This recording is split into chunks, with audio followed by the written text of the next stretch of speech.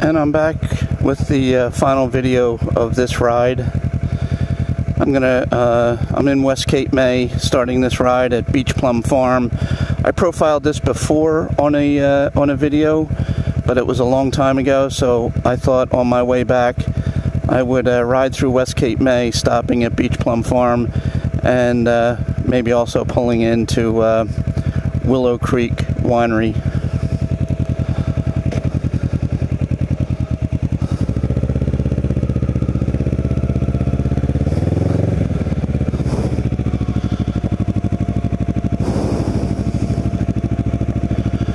I talked a lot about Beach Plum Farm on a video a long time ago, but this is an operating uh, farm supplying a lot of uh, produce to some Cape May restaurants. It's uh, it's owned by a number of, uh, or not a number, but a few uh, restaurant owners. I think most notably is uh, a gentleman by the name of Curtis Bashaw who owns Congress Hall and uh, Cape Resorts Group. But uh, this is a nice place to come. Uh, it's sort of like a, a very miniature petting zoo, too. I mean, it's not built as a, as a petting zoo by any stretch of the imagination, but you'll see what I'm talking about in a minute.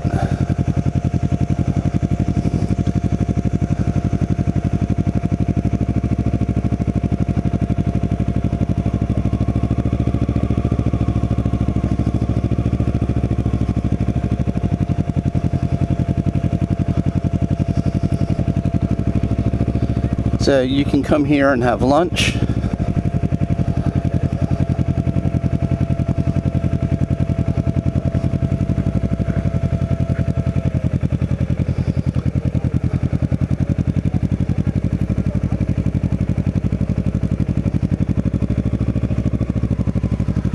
I shouldn't really be coming back here, but just to give a quick turnaround view of this.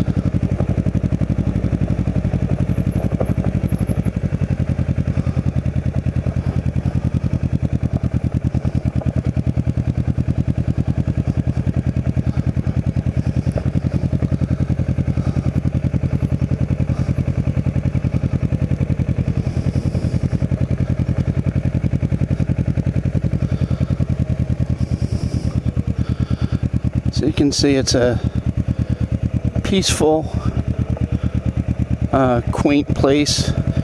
Right in here, they usually have a fire pit in the fall. These tables are all socially distanced.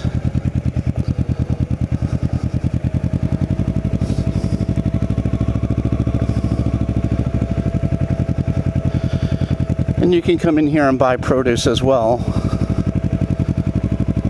but restaurants that uh, advertise farm to table produce in Cape May, this is where they are getting their produce from.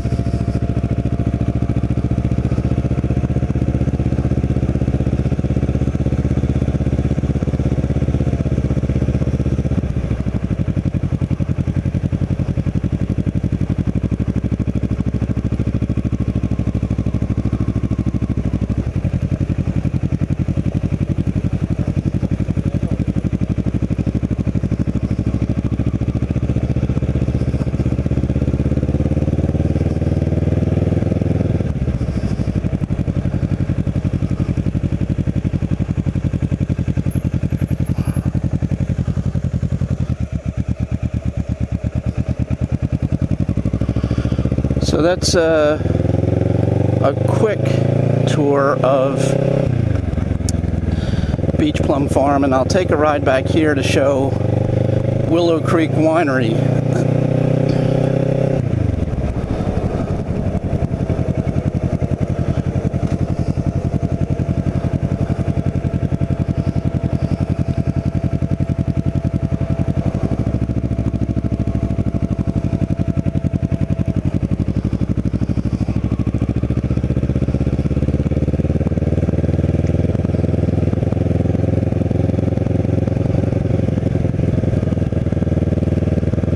That is a private home.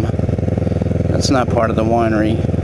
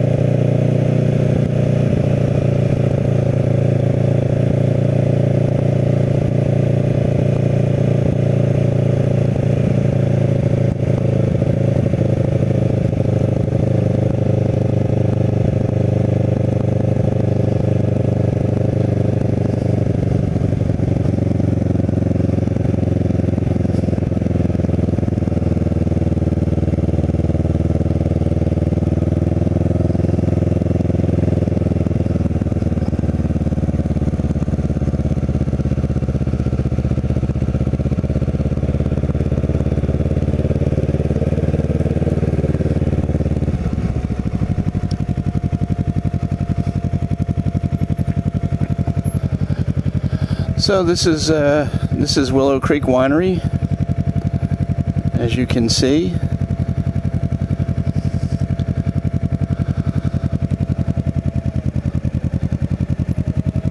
Up ahead a little bit, I'll show the uh, area where you can get some wine and sit out.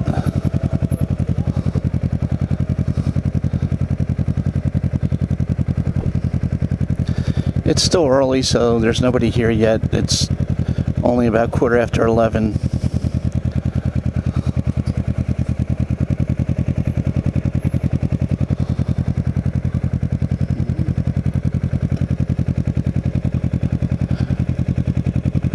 So I think with that, I will, uh, instead of recording the ride back, which I've shown so many times, uh, I'll end this video here make it a short video. So thanks for watching. Take care.